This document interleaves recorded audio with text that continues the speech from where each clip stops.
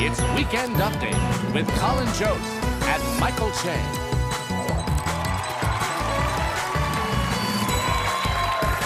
Thank you.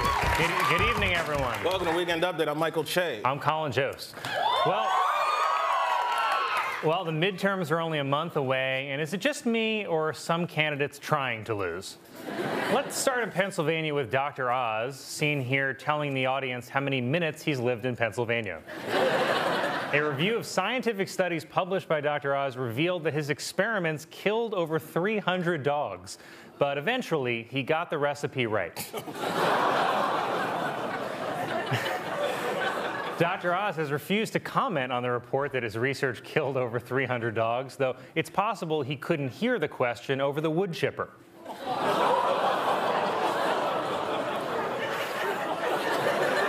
But don't worry, Dr. Oz won everybody back last night when he gave a speech in front of Hitler's car. Worse, he then got into the car and backed over a dog. Georgia Senate candidate Herschel Walker denied reports that he paid for a girlfriend's abortion, saying, I send money to a lot of people, before adding, you know, for abortions. After the news broke that Walker paid for his ex girlfriend's abortion, he raised more than $500,000 because dollars are the only thing Walker is willing to raise.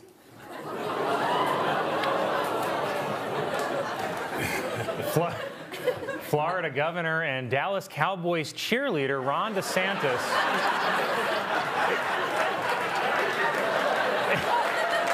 Explained why so many residents failed to evacuate, saying some people just don't want to leave their homes, which is why sometimes you have to trick them onto a plane to Martha's Vineyard.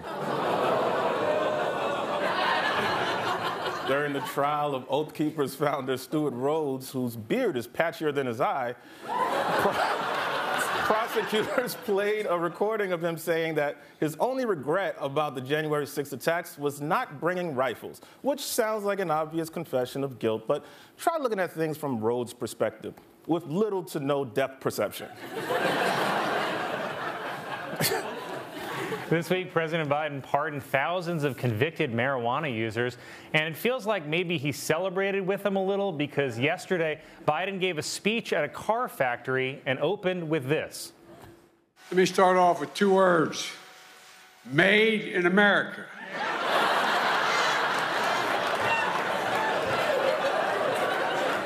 Wow. Well, let me respond with two words Jesus H. Christ. Biden was then heard criticizing reporters at the White House for shouting questions at him. Questions like, What year is it? and Who's the current president? also, they weren't reporters, they were doctors. Kanye West appeared on Tucker Carlson's show to defend wearing a White Lives Matter shirt, claiming he wore the shirt because he was using a gut instinct. But what he's definitely not using are the meds prescribed to him.